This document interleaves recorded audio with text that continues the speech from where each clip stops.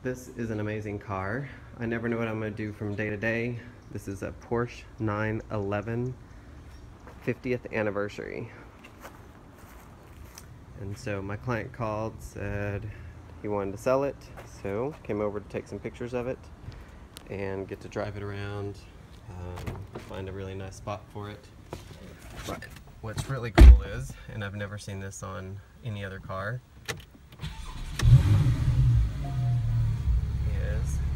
to the right. It actually measures G forces. So that's very cool. This one has 5,000 miles on it.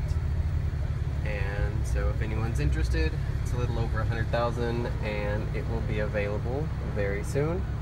If you have a vehicle that you want to sell, um, I can get you more money for it.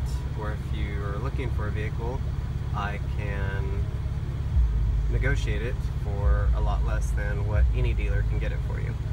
So give me a call. Thanks.